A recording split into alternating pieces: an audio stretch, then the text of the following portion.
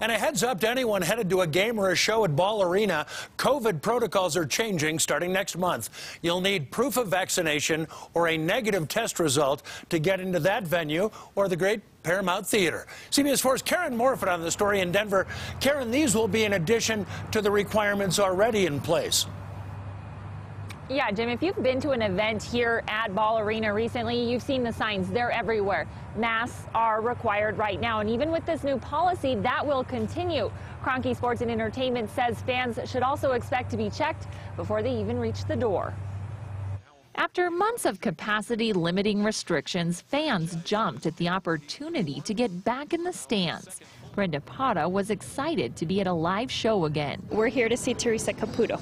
At Paramount Theater and Ball Arena, ticket holders have to mask up, a requirement that isn't always easy to enforce. And you have someone sitting there with their cup without a mask on for, you know, the entire time they're in the arena, then that is effectively being maskless. Now, Kroenke Sports and Entertainment, who owns both of those venues, is requiring proof of vaccination or a negative COVID test to get in plus a mask.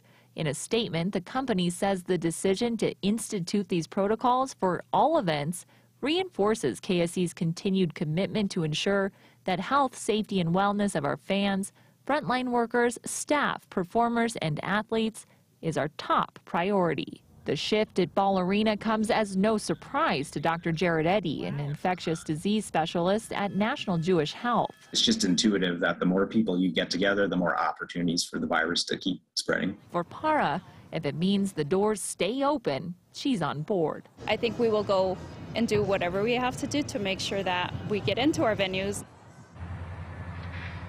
Now, if you plan to bring a negative test, you should know that you have to take it 72 hours before that event. We should also note that these requirements do not apply to those under the age of 12 and they uh, but those those children will still need to wear a mask and Kroenke Sports is asking that fans uh, asking fans to arrive early. They say this could take some time. In Denver, Karen Morfitt covering Colorado First.